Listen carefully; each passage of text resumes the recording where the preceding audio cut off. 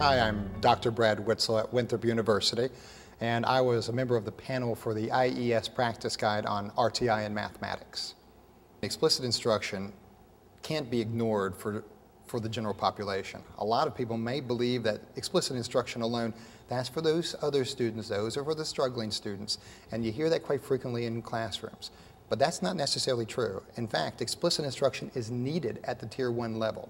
So almost all students will need some type of explicit instruction, particularly when a math concept is either new or difficult.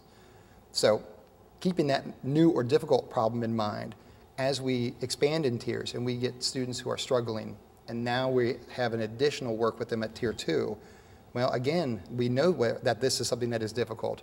We must have more explicit instruction within it. So as far as explicit instruction goes with that, we have to build up the intensity.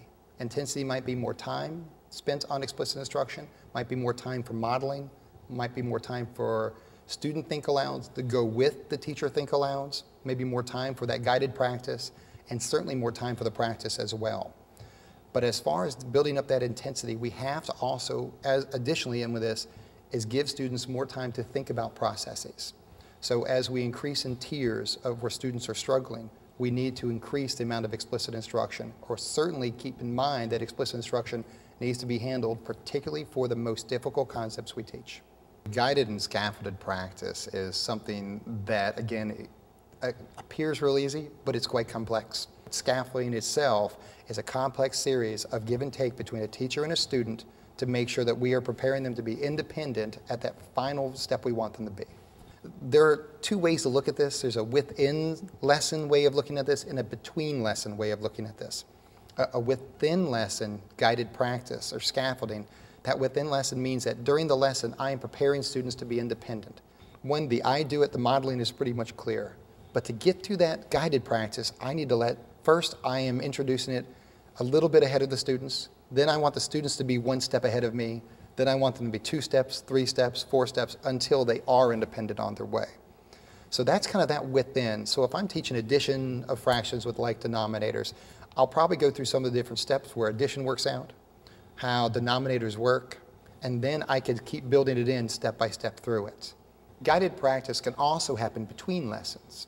For example, if I'm teaching functions or solving simple equations, it's often in a textbook that it will show at the end 1x equals 5. And so we just conclude the lesson, okay, we're done.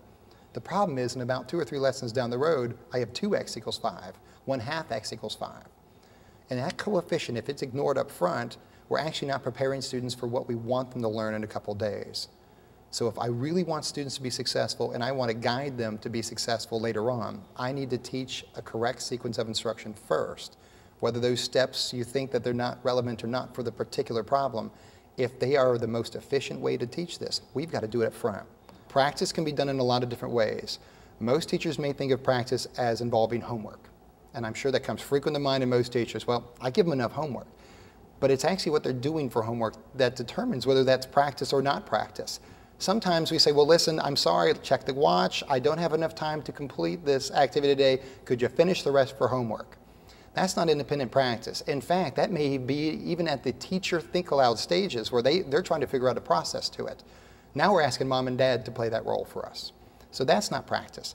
Practice actually can be different. Practice means that they are independent at that level, and now we need to maintain the independence and build in a process.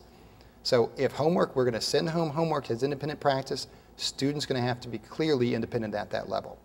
The feedback that we have to give students who are struggling may be different from what we do with other subjects. First, math is hard. Math can be very complex. So to give some feedback to the students, make it pinpointed to directly that error pattern or that success pattern that they're having and reteach based on it.